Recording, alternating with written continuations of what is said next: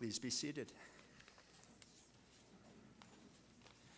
A welcome to you all, and I'll remind you all that the, after the lecture and a short break, there will be a question period in the junior common room directly behind me, and uh, I hope many of you will attend. It is my great pleasure to welcome Abe Schoener back to St. John's College. Mr. Schoener graduated from St. John's in 1982 and completed a doctorate in ancient Greek philosophy from the University of Toronto in 1992, having written a dissertation on the philosophy of Heraclitus. He returned to St. John's as a member of the faculty in 1989 and taught in Annapolis until 1998. He was assistant dean in Annapolis from 1995 to 1998. As a tutor, Mr. Schoener taught throughout the program and gave formal lectures on a wide range of subjects. I recall lectures on the Iliad, on the ancient library of Alexandria, on Machiavelli's Prince, on the book of Genesis, and on Machiavelli's discourses, among others. Since leaving St. John's in 1998, Mr. Schoener has been making wine, primarily in California, but also in Roussillon, France, and Red Hook, Brooklyn. His approach to winemaking has earned him coverage in the New York Times under the title A Thinking Man's Wine, and an Esquire as one of 16 geniuses who give us hope.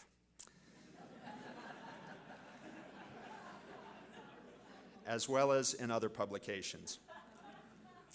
Unfortunately, the most recent coverage has been driven by the damage done by Superstorm Sandy and the recovery efforts at the Red Hook Winery, a process that Mr. Schoener has already written about eloquently. If I may speak personally, and perhaps upset Abe's modesty, I consider Abe an old friend, a teacher, and a mentor. As I recall, we met in 1990 when he was a new tutor and I was an undergraduate in Annapolis. My memory might falter, but I believe I remember our first basketball game in the gym in Annapolis, our first work together translating. We spent a year with another friend translating Aeschylus's Agamemnon. Our first drink together, not wine, but a pungent martini with fish roe. and our first time cooking together, deboning whole chickens. After those memorable early occasions, we spent a good deal of time engaged in these or similar activities, off and on for the next eight years. Through that time, Abe remained to me what he was to many students who knew him in those years and learned from him. Someone who revealed, as if for the first time, the serious, thoughtful, joyful activities that can come to grace the shared pleasures of food and wine. But still more broadly, he seemed to embody a kind of ideal of St. John's in which the tension between thinking and living, between contemplation and action, is replaced by the seamless whole of a thoughtful life well lived. After some intervening years, it was a great delight for me and Megan to visit Abe in Napa, to spend some time at his winery and his home there, and to see Abe thriving, learning, teaching, and continuing to embody that ideal still more fully than before, I believe. I am grateful that he has been willing to join us this evening, to return and share with us his thoughts, and to help us consider, among other things, the connections between his activities as a winemaker and the activities characteristic of our community at the college. His lecture this evening, I believe, based on the interview this morning, bears the title, title Dinner with the Cyclops. Okay. Uh, please join me in welcoming Abe Schoener.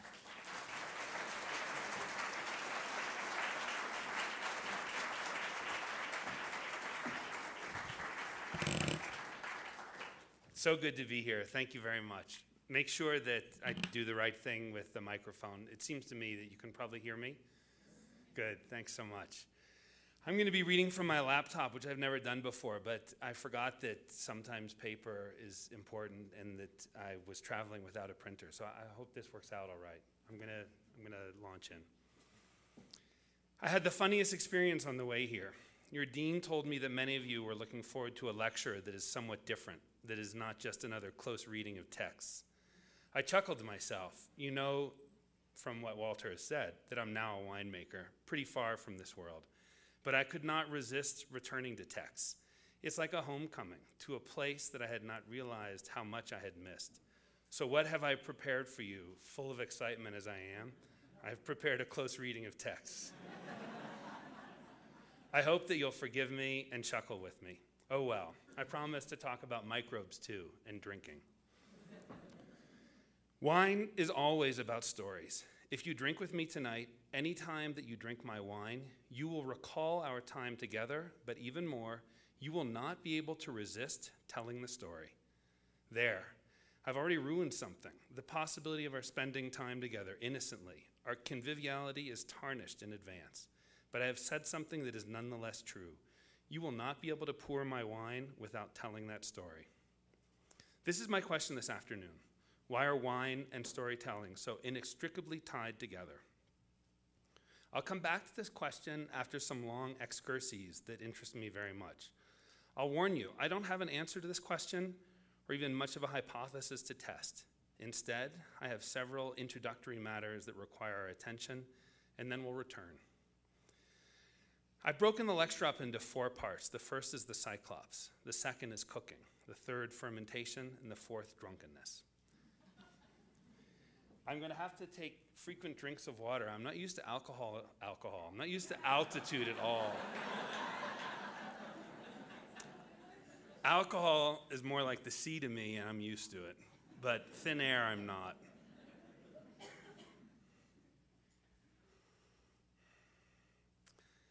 The Cyclops does not cook, but he possesses abundant wood. In the interim between Odysseus' arrival in the cave and the Cyclops' return home, Odysseus finds wood to build a fire and to sacrifice. We'll return to this sacrifice in a moment. Odysseus recounts that when the Cyclops comes home, he brings with him a great load of wood for his dinner. The word I have translated for his dinner is odd. It occurs only four times in extant Greek and only twice in Homer, and both times are right in this passage, within a few lines of each other. The word is potidorpeon, and we do not really know what it means. This is how I would translate it in its second occurrence. I'm quoting The Cyclops drew off half of the white milk, and having curdled it, he put it into wicker baskets, and half he let stand in buckets, so that it would be there for drinking if he wanted it, and so that it would be ready for his dinner. Potidorpeon, ready for his dinner. It's entirely unclear what normally constitutes the Cyclops' dinner. If there were not humans there for him to eat, would he have slaughtered sheep or goats? It does not seem so. They're never referred to as potidorpeon, readily available for dinner. In fact, it's very odd that Odysseus and his men do not cook any of the animals. As if to emphasize this, Homer, or perhaps I should say Odysseus, since he's telling the story, uses very odd language in describing the interlude before the Cyclops' arrival. He says that they built a fire and then that they sacrificed cheese. The word for sacrifice, thuo, means explicitly to roast. As far as I can tell, it is nowhere used in Homer of a simple offering without burning. The idea of roasting cheese is odd. And this is also nowhere seen in Homer. Why do Odysseus and his men not slaughter an animal? The sailors urge Odysseus to steal cheese and livestock. Mere compunction could not be stopping them. Odysseus is silent about his thinking here, and the very silence, compared, com, uh, sorry, combined with this wood that is potidorpeon, this is all odd and suggestive at once. We're forced from the beginning to think about what one eats, and the sacrifice of cheese forces us to think about meat eating in particular.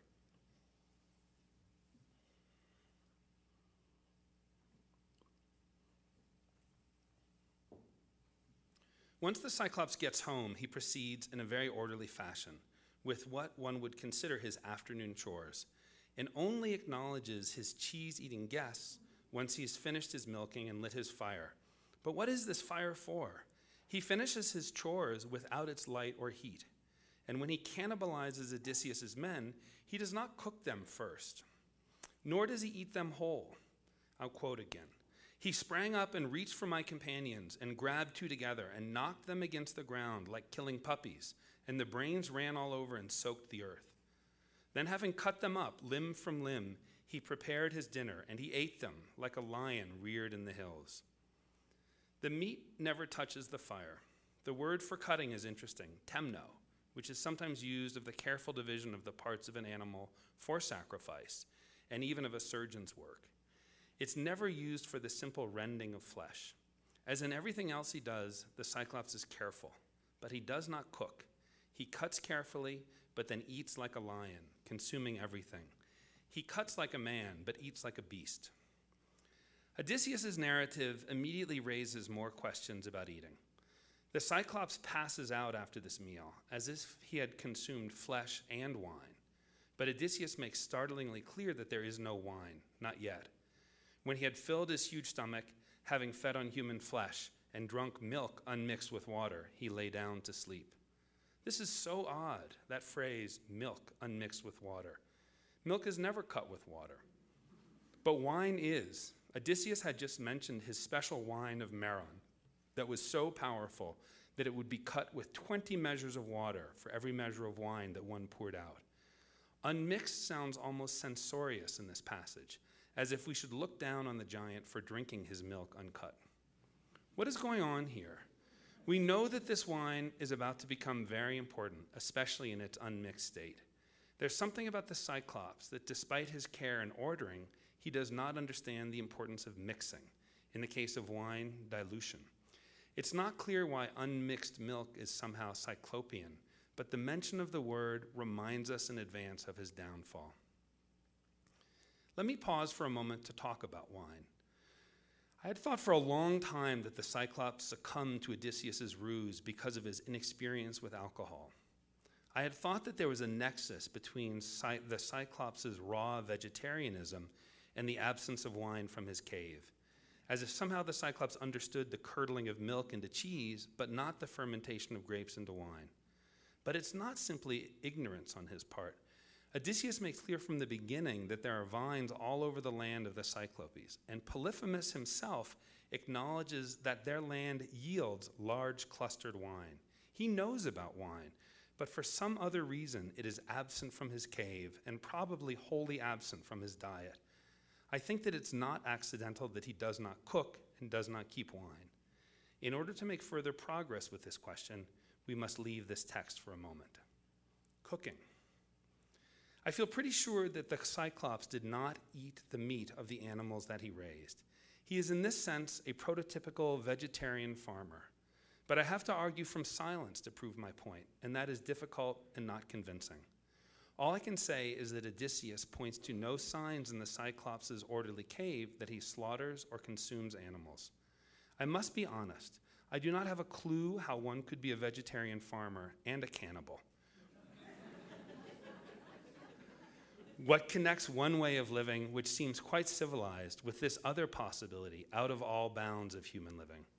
But I'm inclined to suggest, on the basis of this episode, that there is something equally out of bounds about both ways of living. I'm serious about this, even if it seems inhospitable to vegetarians. It is, if, it is as if Homer, or at least Odysseus, is suggesting that vegetarianism and cannibalism are somehow reflections of each other, or modes that are intimately close, not, not diametrically opposed. Let me put this another way. One might generalize to the highest degree from this little tableau to universalize and say, the mode of eating that depends only on raw foods that themselves are not cooked flesh, this is not simply a choice that a human being might make, akin to choosing a way of dressing or a way of dancing. It is a choice that is fundamental and that is tantamount to placing oneself outside of the civilized customs of human beings. Here's another way to look at the same question. At the beginning of Genesis, on the sixth day, after God created human beings, he speaks to them and says the following three things, all somehow tied together. He says, Bear fruit and be many and fill the earth. He says, Have dominion over the fish of the sea, the fowl of the heavens, and all the living things that crawl upon the earth. And then he says, Here, I give you all plants that bear seeds, and all trees in which there is fruit that bears seeds they shall be for you for eating. And then he adds the following. And he adds the following for all the living things of the earth. He says, For all the living things of the earth, for all the fowl of the heavens, for all that crawls upon the earth, I give you all green plants for eating. This occurs in what one might call the first creation story, and one must be careful about conflating this narrative with the one that starts with Adam and Eve. I hope you'll allow me to do so here, but with respect to this question what is it that human beings eat? I'd like to start with this pronouncement here and then review the question as it changes, as human history unfolds in the post Adam world. At the beginning, there's a world full of everything that we live with now, but with a different demarcation of who may eat what. It seems to me that no animals are carnivorous. There are no specifications, by the way, about what fish may eat. They may, in fact, be allowed to eat flesh, but this too is an argument from silence. Everything that lives on or above the surface of the earth eats fruits, seeds, plants. There's no evidence of cooking, no mention of cheese making, or even milk drinking. The whole world seems to be universally vegan and raw food eating, crudivore. There's no difference between what human beings eat and what animals eat, and there might even be no difference in the way that they eat. In other words, there might be no such thing as cuisine, vegan or not. This suggests the collapse of some other distinctions. There is no dining, perhaps not even eating, there is only feeding. Once we move into the story of Adam and Eve and their progeny, it seems like men and animals still do not eat flesh, and the same remains true even after Adam and Eve leave Eden. The first sign that there are any other possible relations between humans and animals is in the story of Cain and Abel. Abel's a shepherd, a shepherd, and that suggests to me at least milking, though there's no clear sign of this, in the way that the Cyclops too milks. Perhaps the world is still vegan and the flocks are kept only for wool, but this seems somehow incredible. There's a sign very soon in the story that animals can be understood as parallel or analogous to the food plants and not simply as cotton on hooves, when Cain and Abel bring offerings to God. When Cain brought fruit of the soil to Yahweh as an offering, Abel followed with the firstborn of his flocks from their fat parts. This seems like a remarkable and sudden innovation. It is surprising to me that the innovation is not rejected or condemned by God, but instead, Yahweh had regard for Abel and his gift. We know what this leads to. The prototypical vegetarian farmer becomes the first homicide. And a shepherd who, without explicit dispensation from God, slaughters one of his flock he becomes the first victim of human violence. I would like to point out that there is no evidence that Abel cooked his sacrifice for God, and none that he tasted of it or cooked meat for himself on any other occasion. In fact, there are very clear signs later that neither of these things happened. This means that something strange and foreign to us took place in Abel's offering. Like the Cyclops, he divided the slaughtered flesh, the meat, divided it up carefully separated the fat parts for Yahweh, but did not cook them. For us, the careful cutting of meat seems inseparable from cooking it. All of us are now intimately familiar with sushi, but note how few of us are eager to sample chicken or pork sashimi. The fish still seem to occupy a special realm. Aside from them, the cutting of flesh needs naturally to its cooking. For us, but not for the Cyclops and not for Abel. The first cooking does not occur until much later. God decides to cleanse the earth of all flesh and decides to spare Noah and his family and to spare a pair each of all the animals that live on or above the surface of the earth. It is not clear what happens with plants. Perhaps they have seeds that can withstand a flood, or with the fish, though clearly their flesh, if they have any, will not be ruined by a flood. When the waters recede and Noah leaves the ark, the very first thing that he does is build a slaughter site. He does so unbidden. The same God who so precisely delineated the dimensions and construction of the ark makes no suggestion about this offering.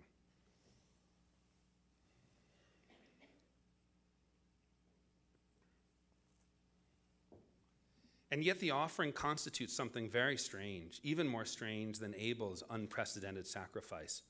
For the victims of Noah's sacrifice come not from some herd that roams the earth or from wild animals in the forest. The animals that form the sacrifice are the very animals that he just saved from the deluge. And unlike Abel, he clearly roasts them. Yahweh notices this and reacts.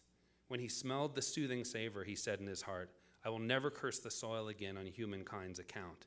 And then he blessed Noah and his, off- and his offspring, and then explicitly recast the structure of the relationship between humans and animals. Fear of you shall be on all the wildlife of the earth, and the fish of the sea. Into your hands they are all given, all crawling things that live. For you they shall be for eating, as with the green plants. I now give you all. This amazing passage seems to refer directly back to the first creation account, as if Yahweh were explicitly rewriting the edicts that he had issued there, in what otherwise seems like a separate story. The question of what human beings may eat is so important that it bridges both accounts. I do not know why Noah made this immediate and remarkable sacrifice. I do not know why the aroma of roasting meat pleased Yahweh.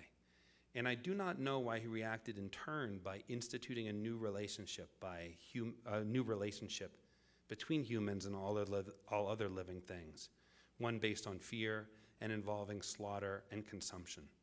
But we can say this the eating of flesh is somehow tied to its aroma. God does not make meat part of our lives so that we can eat raw chicken. Aroma is the preeminent aspect of food that does not feed us. Let me put it this way when we attend to aspects of food like aroma, and when we somehow take in these aspects, then our feeding becomes something more. It becomes eating and then dining. Aroma is the preeminent such aspect precisely because it is vaporous, intense but insubstantial at the same time. Sight can move us to eat, but the power of aroma to do so is more fascinating. Aroma points to something that is not there, whereas the vision of beautiful food points only to the food itself. We can smell and not see and still be moved to eat, not to feed, that comes in response to hunger. Aroma is what excites appetite, something beyond the realm of feeding and nutrition. Let me propose this Yahweh does not make meat available as a choice. My sense is that this pronouncement, which accompanies the first covenant between God and humans, has a universal value. Now, all humans are meat eaters.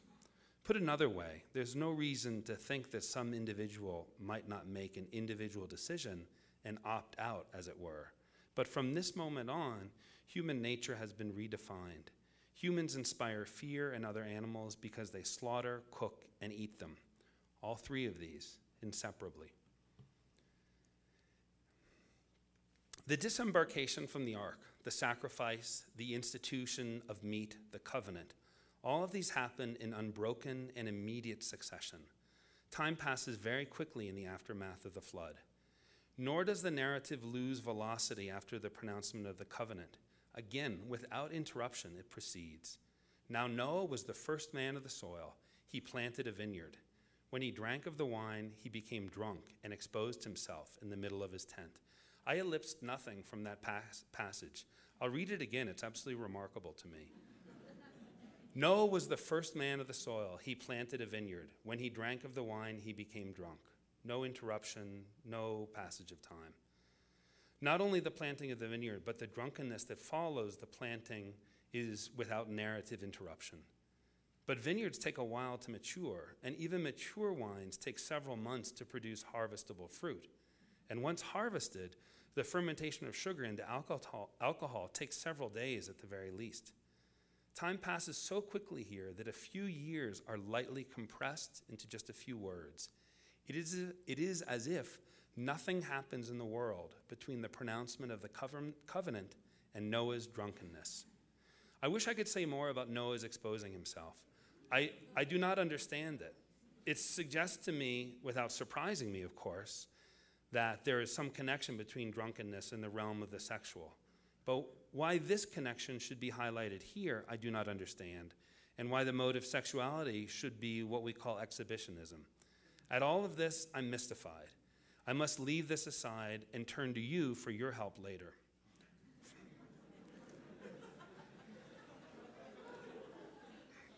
for now, this is all that I can say. In the narrative that takes so much care with the question of what humans can eat, the turn to the roasting and consumption of meat is followed without a break by the planting of a vineyard and the drunkenness of the grape grower.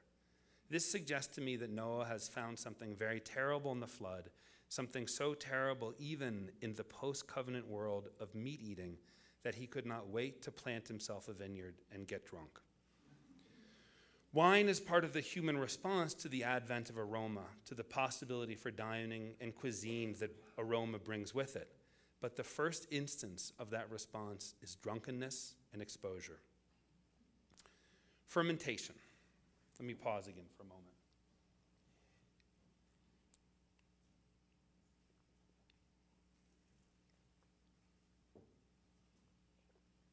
I am now about to leave great books aside for a while and to expatiate on things I have learned or thought about since I left St. John's. What I mean by fermentation is the following a microbe eats some form of sugar or a close relative of sugar, call them carbohydrates if you wish, and gets nutrition from it without requiring the presence of oxygen to feed itself in this way. The microbes that I am interested in are all single celled. Some are yeasts, some are bacteria. Some produce alcohol, some do not. I'm not really more interested in alcoholic fermentation than in the other sorts at this moment. Later, we'll return to the difference that alcohol makes. For now, I want to consider the many kinds of fermentation that we rely on for various things that we eat and drink. I have to warn you because questions will arise that I know very little about this and I won't be able to say much more than what I say now. Cheese. Cheese is the result of many kinds of microbial actions on milk, some of which take place in the presence of oxygen, some not. There is no cheese without this microbial activity. Let's consider yogurt here too, and even kefir. The fundamental action is the consumption of a sugar particular to milk, lactose, by a bacterium that transforms it into lactic acid. This has many effects on the whole complex that is milk. It raises its acidity, making it less attractive to other microbes. It changes its affinity for water, leading to concentration and dehydration. It changes the structure of proteins, leading them to clump and form curds. And, and it takes an attractive food source off the table for the other microbes. Next, pickles. Pickles too depend on the action of microbes. You can have pickles without the use of salt or vinegar, but not without microbes.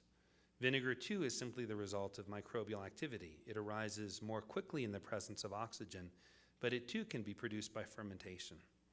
In this case, bacteria consume the various sugars found in fruits and vegetables, and just as in the case with cheese, converts them into acids. Dehydration and protein transformation have almost no role here, but the production of acid is crucial. Ham and salami. The curing of meat seems distant from fermentation, but it differs from the, on, the other modes only in concentration and in speed, not in any fundamental way. Here, too, bacteria eat sugars, produce acids, drive out water, and modify proteins. In a certain sense, the use of salt, which we associate so closely with the production of ham and salami, the use of salt is not what preserves the meat directly. Rather, it is used to create an environment favorable to certain bacteria and molds and not to others. The curing of meat can thus be understood simply as the culturing of certain organisms. In each of these, a microbe attacks what counts for us as a kind of fresh food. And by consuming what it, the microbe, is interested in within this food, transforms the, flesh, the fresh food into a preserved food. In each case, the transformation is parallel to, but different from a, form of spoilage. What I mean can be imagined as a kind of race.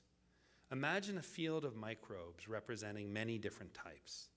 They're all present at the beginning of the race, and they all have one aim to consume as much of the food available as possible.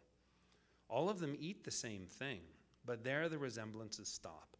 They differ from each other subtly but substantially. Some run faster in warmer conditions, some in cooler. Some need more water, some need less. Some need oxygen, others are more perfect fermenters and can run without it. Some start fast but finish slowly, and some are just the opposite. If one type of microbe gets a lead that is too substantial, spoilage occurs. If a good microbe starts fast but cannot finish, spoilage occurs. The race is never decided until all of the food is consumed. In this way, cheese is the result of a certain microbial activity, and a slightly different activity results in spoiled milk. Or maybe it's better to regard this historically.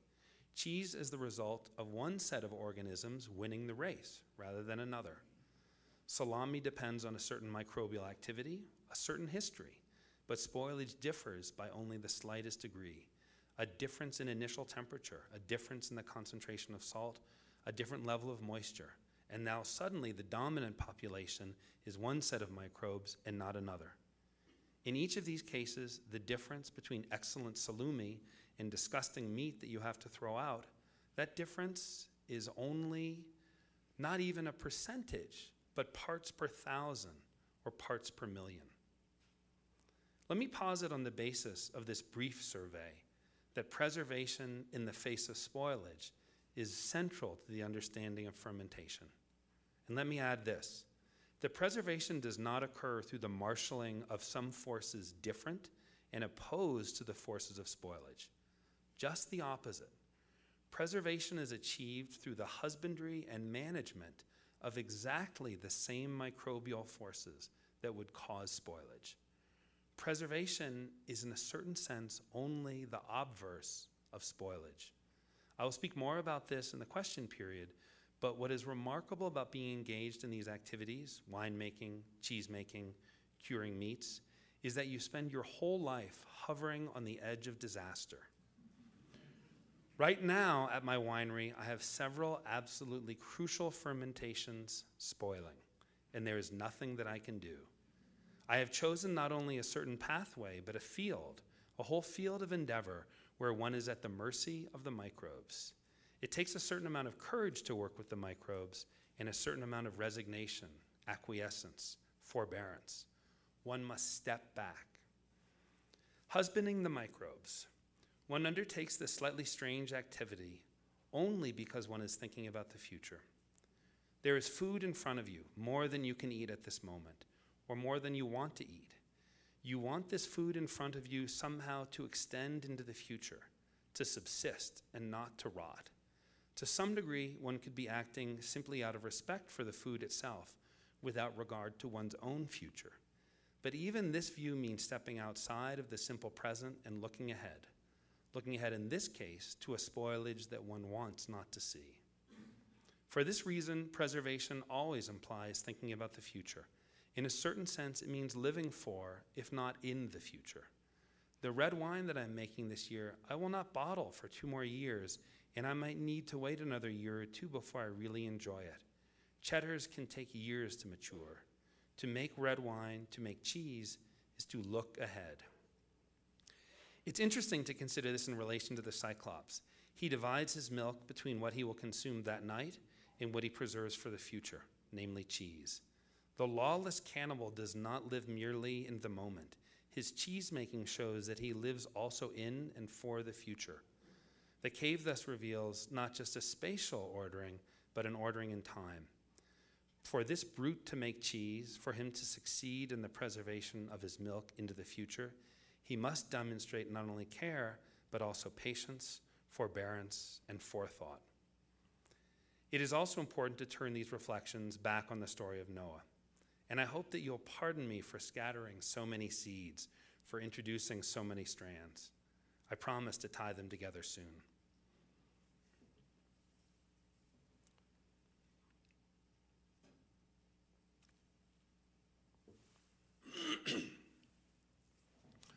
Roasting is not about preservation, it is all about the present. I do not mean that roasting will not allow you to keep your side of antelope around a little longer. It will. But the central question in Noah's story, the central question in this story that leads to aroma, suggests to me that what is essential about roasting is not its ability to preserve your meat for a few hours or for a few days. It is the conversion of nutrient into a dish the conversion of feeding into dining. Noah's roasting does not point into the future, it is rooted in the present delight in an evanescent aroma. On the other hand, we can now see that his planting a vineyard and his involvement in fermentation is just the opposite. It is clearly and strongly staking a place in the future. It is a devoting of himself to something in the future. There's something destructive about slaughtering and roasting, and something preservative and forward looking about planting and fermenting. We cannot stop here, notwithstanding our analysis of the nature of winemaking. This story, the story of Noah, collapses all time and presents Noah's planting and winemaking as if it were the work of an instant, as if it all took place in a breathless present. This is because of an essential aspect of Noah's fermenting that we have all but ignored. He is not making cheese, he is making wine, and cheese cannot get you drunk.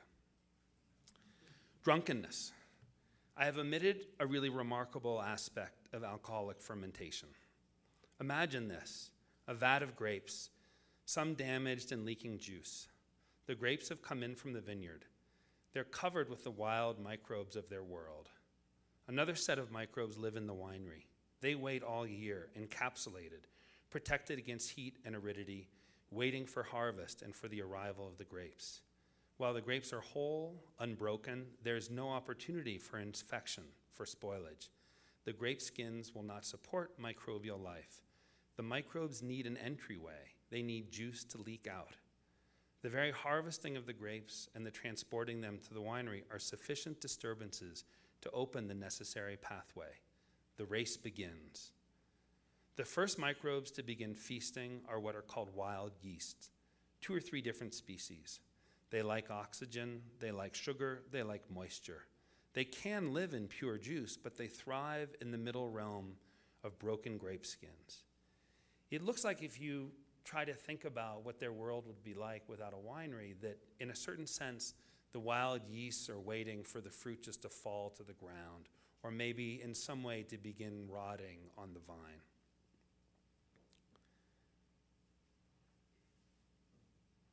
The wild yeasts produce carbon dioxide as they eat and alcohol. Every bit of each of these substances makes the environment more favorable to them and less favorable to their competitors. Their competitors are the bacteria many of the same bacteria that make cheese, pickles, salami. What are beneficial in these foods count as spoilage organisms in wine. The reason for this is that each of them, each of these bacteria, will eat sugar and make acid. And the difference between wine grapes and each of the other foods is the concentration of sugar.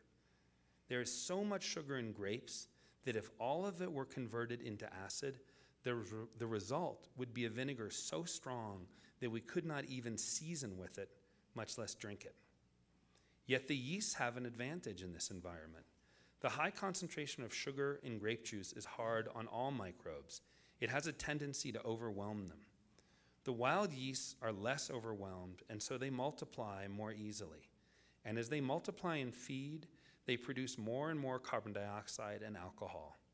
And each of these is a toxin or at least an inhibitor to growth. The more alcohol the yeast produce, the less friendly the environment is for bacteria. And the more carbon dioxide, the more the environment favors the fermentative feeding of the yeast and impedes the respirative feeding of the bacteria. Soon the yeast have reconfigured the original field so that it favors them more and more with each hour. As a result of this, the bacteria fail to reproduce and go dormant or perish.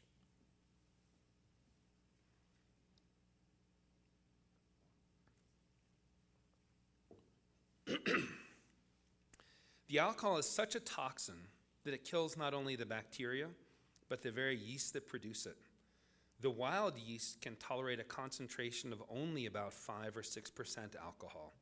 The grapes that I work with in California will yield an alcoholic concentration of 14 to 16 percent if all of the sugar is fermented. And here the population of the winery succeeds the population of the vineyard.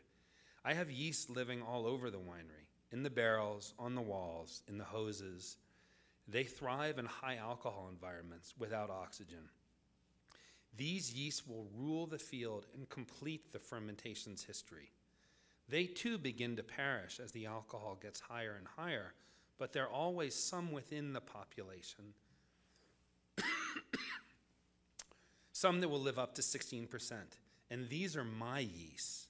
But from their perspective, my winery is their winery. My grapes are their grapes. Alcohol is a poison, a toxin.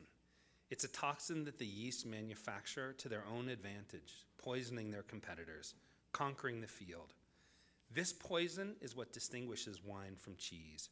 Both are products of microbial action and, at least in part, of fermentation. Both are produced on the edge of disaster, in the nexus that embodies spoilage and preservation. Both work on raw foods and, sorry, both work on raw foods to extend them into the future, but only wine can get us drunk. I wish I could say more about intoxication. It's a state that I am close to, familiar with. I do think about it, I reflect on it. It is part of my business to engender it, and what an odd thing that is. I enjoy the state of intoxication in this sense. I rarely crave it, but when I am in it, I am happy. I feel some excitement, and I am almost always aware that I am intoxicated. It's a difficult thing to discuss for many reasons, but I have this sense, merely a sense, that my experience of intoxication is not universal, or at least that what I have just pointed to does not get to the essence of intoxication. Let me lay down axiomatically a few aspects of what I take to be essential to intoxication. Drunkenness always involves a kind of forgetting. It involves an oblivion in the present moment. Matters that otherwise would be in one's mind disappear. And it involves a forgetting of the moments of drunkenness themselves. At least some of what one does, some of what experiences drunk, is forgotten. Not necessarily a total oblivion, both of these kinds of forgetting are a matter of degree, but both always play some role. Drunkenness is about the present. It does not point to the future, and to some degree, it erases the future in the same way that it involves forgetting. But drunkenness does not exclude the past. Even though it always involves some kind of forgetting, it also seems to encourage sentimentality. The sentimentality can be the intensification of the present, but it can also be the celebration or damnation of the past, drunkenness that veers into the maudlin, the nostalgic. I might go this far. A particular kind of remembering takes place in drunkenness, but a remembering that does not take good account of the passage of time. Drunkenness can inspire two kinds of experiences of the present one that is only about the present moment, and one and that looks neither forward nor back, and one that allows the past to suffuse the present, but that fails to some degree to distinguish the two. In any case, the future is inevitably forgotten, thus, the remarkable inevitability of the hangover. You might sense that I'm finally closing in on my first question What is the relation between wine and storytelling? In order to get even to the threshold of this question, I must now rush a little, and I hope that you will not mind. Now, both beer and whiskey can make you maudlin, make you forget your responsibilities, make you want to dance. From this perspective, alcohol is alcohol, and it makes no difference how it originates or how it gets into your body. This makes any claims about the special relation between wine and storytelling difficult to maintain. You might expect me now to counter with claims about the excellence of wine, about how nothing tastes like it, how it stimulates the mind because of its complexity, or that 14% alcohol is the optimum concentration for human intoxication, beer falling too low and whiskey striking too high. No, I have thought pretty hard about this, and I'm pretty sure that alcohol is alcohol and that at bottom, the means of delivery do not affect us or determine our experience of intoxication. Let me put this a different way, because surely we all know that what I have just said is in an important sense false, or that it's true only in a limited way.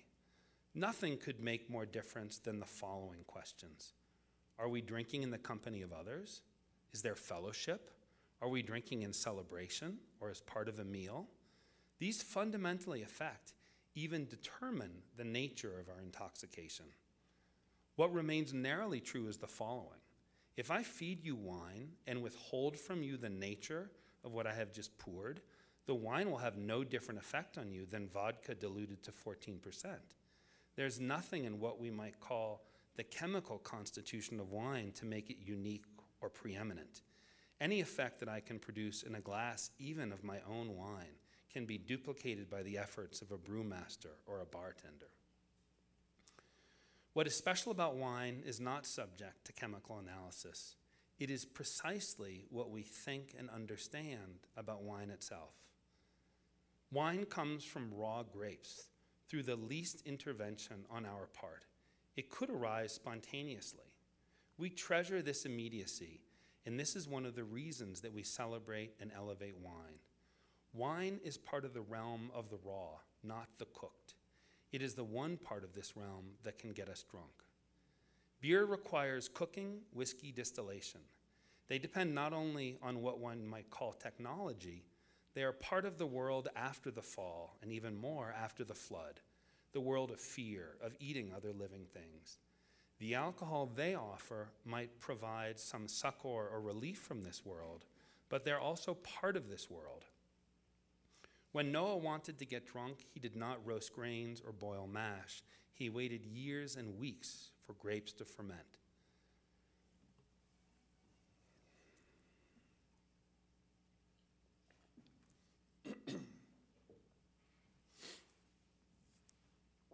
the very collapse of this period of waiting forces our attention back to it and reveals another reason why we celebrate and elevate wine. The myth of the vineyard is in some way the mirror image of the spontaneous nature of wine's fermentation. The vineyard, not the grower, is preeminent. The vineyard itself trumps the farmer. One reason for this is that vineyards persist. The vines are there year after year, harvest after harvest, winemaker after winemaker. The vineyard has a history. Vineyards always conjure up history whereas beer and whiskey are born from grain fields that could be planted to turnips next month. The history of the vineyard is the obverse and the pair of the immediacy of fermentation.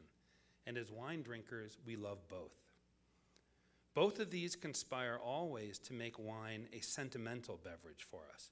When we drink wine, we drink it in knowledge and understanding of its claims to spontaneity, immediacy, innocence, but also within its claims to a history, to being in time, to being of time.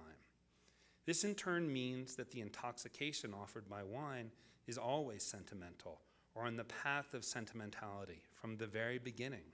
It is born in sentimentality. One may even say that it is born within a certain kind of story a story about the fall and about a time before the fall, about a time when fruit grew without cultivation and alcohol arose spontaneously without effort on our part. Wine is from the beginning always understood as part of a very particular narrative. We drink wine to remember and to forget at once.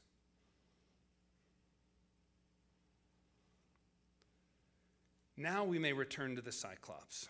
This I cannot resist. It is my treat, the price that you must pay for my coming here to talk. Polyphemus does not have what I would now call the natural relation to wine. He has no interest in stories, nor do I think he has any interest in forgetting or remembering. His drunkenness is not Noachic oblivion, nor is it Odyssean nostalgia. What then is it? It is the mindless oblivion of the connoisseur. Listen to the Cyclops' reaction to the wine that Odysseus pours for him. He drank it. He took it and drank it. And he was terribly delighted with the sweet wine when he drank it. And he questioned me again, saying, Be generous and give me more, and tell me your name straight away so that I can give you a guest gift, and you will delight in it.